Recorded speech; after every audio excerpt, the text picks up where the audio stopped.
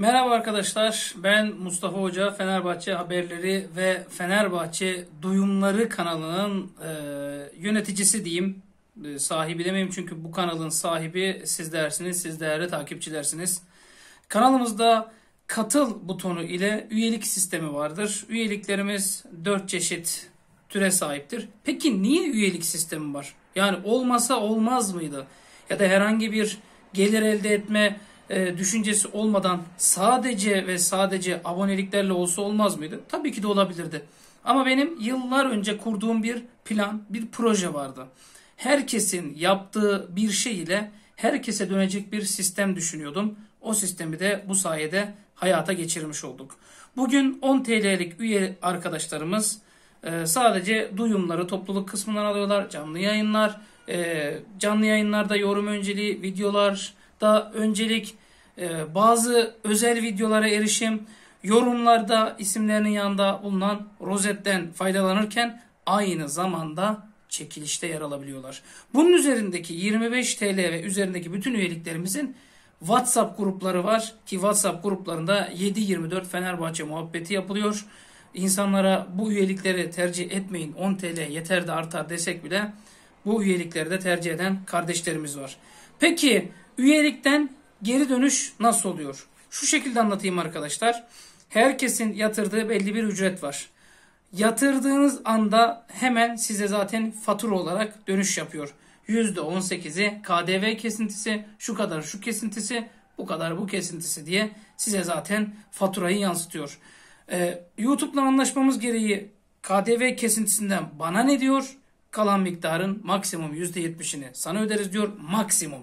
Yani %50'sini de ödeyebiliriz. %30'unu da ödeyebiliriz. Aydan aya bu değişiyor. Ve biz de buradan gelen parayla üyelere özel forma çekilişi yapıyoruz arkadaşlar. Ki ilk çekilişte kaç kişiye çıktığını kanalımızda görebilirsiniz. İkinci çekiliş bugün 28 Ağustos gününde bu videoyu çekiyorum. İkinci çekilişimiz bugün. Bugün 6 kişiye yeni sezon Fenerbahçe orijinal Puma forması hediye ediyoruz. Kargo ücreti yok, herhangi bir karşı ödeme yok, herhangi bir şey yok. Sadece üye oldukları için formu dolduruyorlar.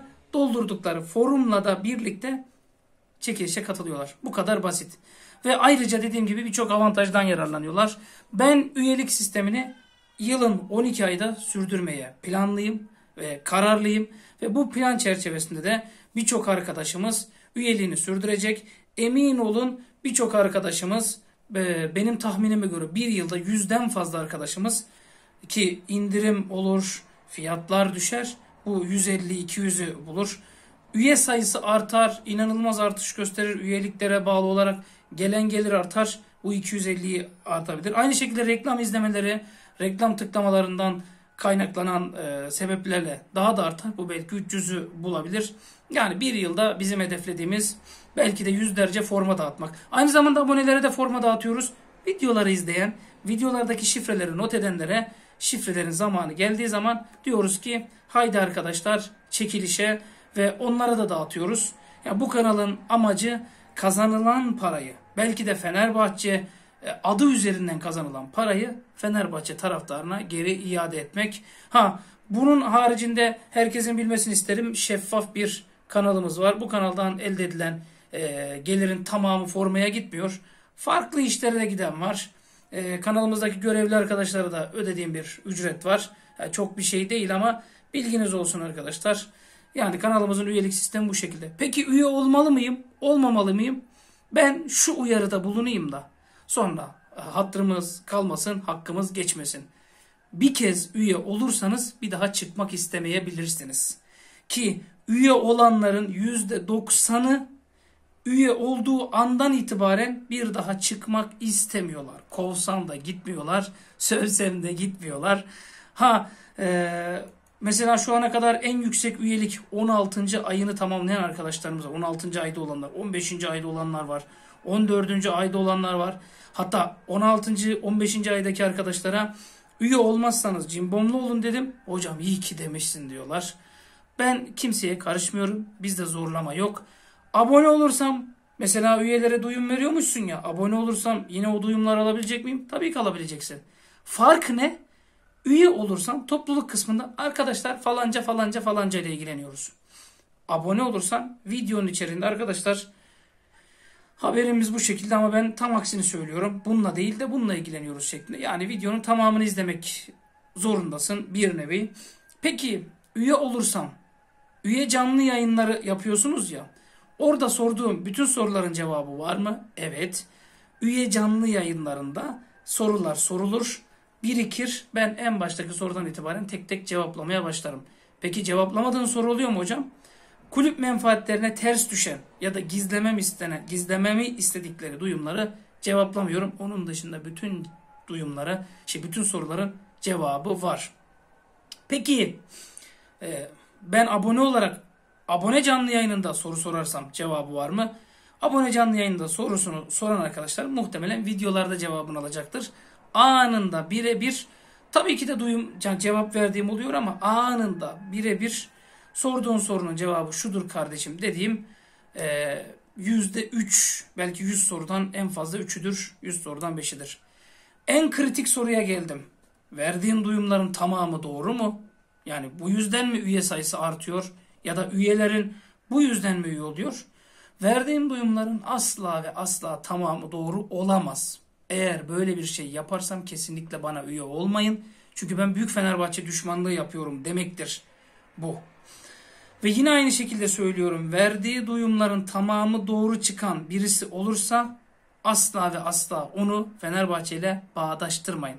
Niye derseniz bakın Fenerbahçe başkanının bile işte şu tarihte şunu açıklayacağız, bu tarihte bunu açıklayacağız demesine rağmen gerçekleştiremediği duyumlar varken e, sonuç, duyum, durum bu arkadaşlar. Ben üye olan arkadaşlara şunu söylüyorum.